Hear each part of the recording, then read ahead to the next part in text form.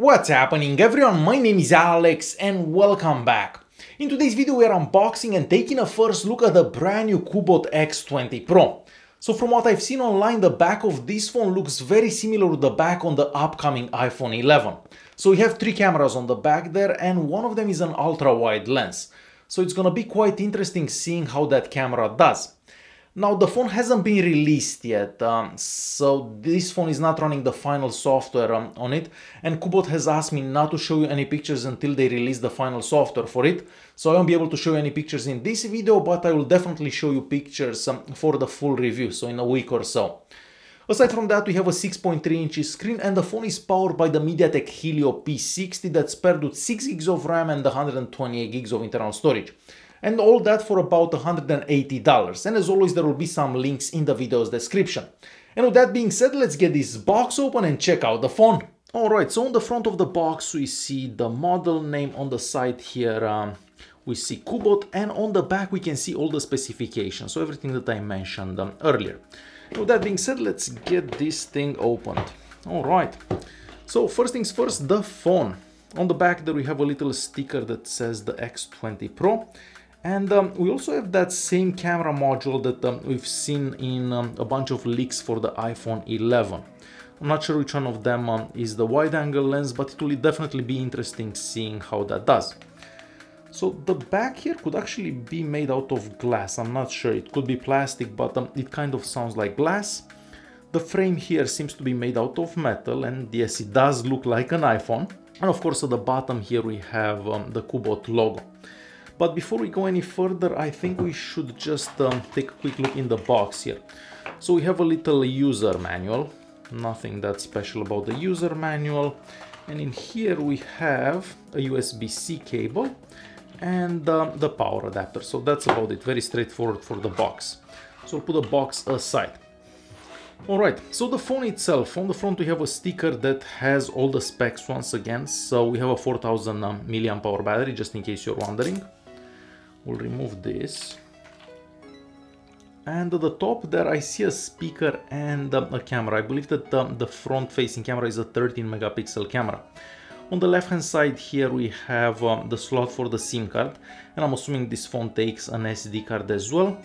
At the top we just have a couple of cuts for antennas probably and at the bottom we have the USB-C port and um, of course one speaker. I'm assuming this has a speaker and one of them is a microphone and on the right hand side you have the power button and the volume keys. But yes this looks very very much like an iphone. So i'm gonna go ahead and turn this on. Hopefully you have some power and we do. So what i'm gonna do i'm gonna set this up and i'll come back once uh, once i set it up and um, show you the ui and so on. Look at those bezels very very small around um, the screen. Oh, and there is a screen protector covering the screen which i will remove Alright, so I will be right back. Alright, so after about half an hour or so, um, I am back. So first of all, the screen. We have very small bezels all around the screen, and in fact, I think these bezels are smaller than the bezels that uh, you would get on an actual um, iPhone. This is a 6.3 inches screen that has a 1080p resolution, and it seems to get fairly bright. Now, I believe that if you actually take this in direct sunlight, um, you won't be able to see that well, but for this price, um, this is something that um, I was expecting. The, the launcher, so the phone is running Android 9 and the launcher is very close to the, the launcher that you would find on, um, on the Pixel phone. So if you swipe all the way up, um, you get to your app drawer. If you just swipe up a bit, you go um, into multitasking.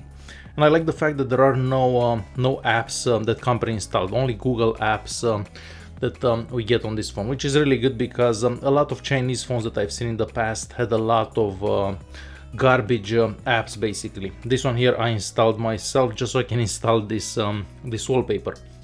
Now the scores on the Antutu benchmark and the Geekbench 5 aren't that high, so this is the score that we get on the Antutu benchmark and this is the score that we get on the Geekbench uh, 5. So fairly low scores and I assume that if I would have used Geekbench uh, 4 this score would have actually been a bit, um, a bit higher.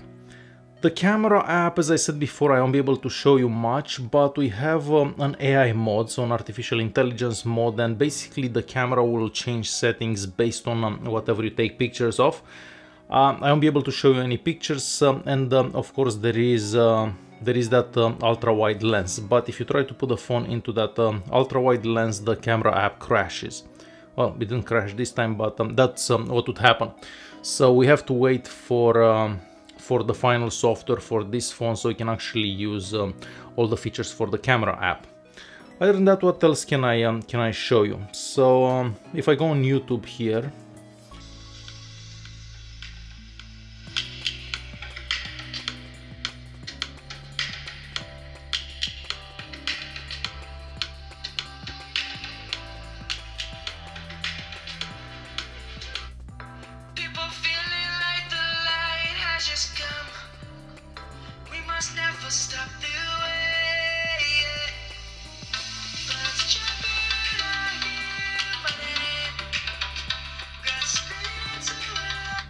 So yes, we only have one speaker, but um, the speaker does sound um, quite good.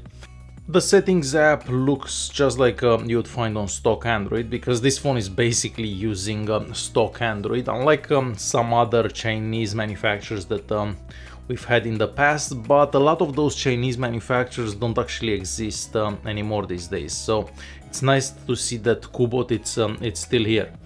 Out of that 128 gigs of internal storage, you have about 116 gigs left after um, the operating system and the two apps that um, I installed.